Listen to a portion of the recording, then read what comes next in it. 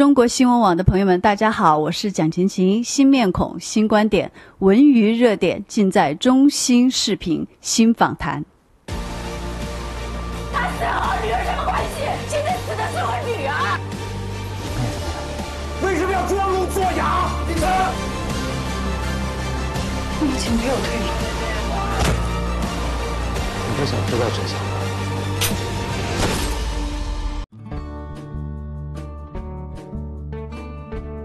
嗯，我在这个戏里边扮演的是这个这个女刑警，可以是这个县城里边的女刑警吧。嗯，刑警队长林雨红。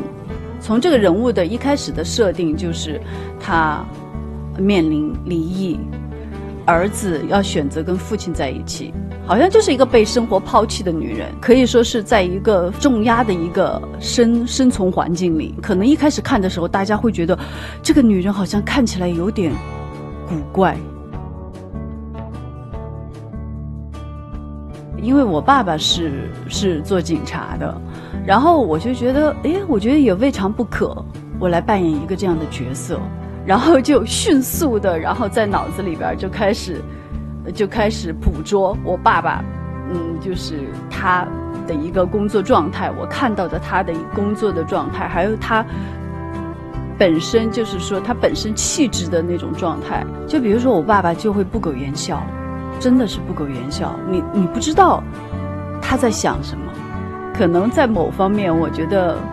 我觉得是我把爸爸的一些特质放在了里面，我觉得特别亲切，非常亲切，就是在那个县城里边看到的山山水水、农田、村庄，哇，我都觉得非常亲切，还有吃的食物。嗯，每天的那个阴雨绵绵的那个那个气候，那个环境，湿漉漉的环境，哇，我都觉得好亲切。我觉得语速吧，这个是一个非常大的一个难点。对于我来说，我是南方人，而且再加上我，我可能拍的古装戏也比较多，然后那个语境啊，都有它它。特有的那种语境，那种感觉，然后一下子拍一个现代戏，然后是一个是一个刑警，然后他就要求的非常的果断利落，然后包括台词的语速，哇！我一进剧组，我特别不适应，然后可能就会出现到我们说的瓢了，就是语速的加快，嗯，那个我还适应了挺久的。挺挺默契的，嗯，然后他很，他虽然很年轻，但是很努力，但很很很拼啊，很搏命的。然后我就记得有一场戏要从二楼跳下去，然后导演其实是安排了替身的，然后拍的时候其实导演也怕会出到意外呀，会影响到拍摄或者什么的，所以有的戏导演是会安排替身的，但是他都要。自己亲自上，啊，亲自拍。我觉得还是要以孩子为重吧。什么样对孩子是最好的？就是说，呃，什么样的生活对他的身心健康，然后包括孩子后续的生活，呃，抚养、教育各方面，所以很复杂的。我觉得还是怎么样对孩子好，嗯，然后去做这样的选择。我觉得首先就是要在合适的时间做合适的事，嗯，因为你不可能抓住青春不放，你还要去演，嗯，还要去演，呃，情窦初开，不可能了，嗯，所以我觉得要做合适的事，这个很重要。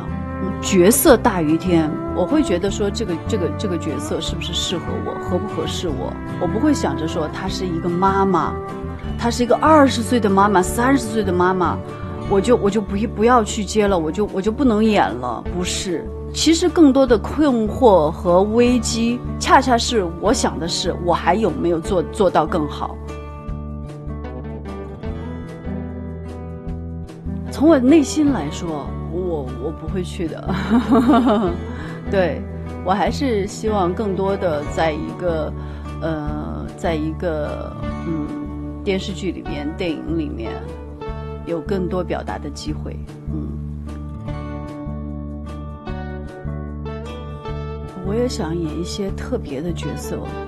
包括男性角色。对，为为什么 我觉得我们现在把男性和女性，然后好像都 都对立起来？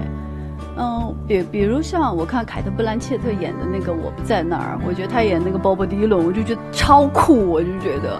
嗯，我们我们也可以跨越性别去做很多事情。希望大家在新的一年健健康康、平平安安、快快乐乐、勇敢的做自己。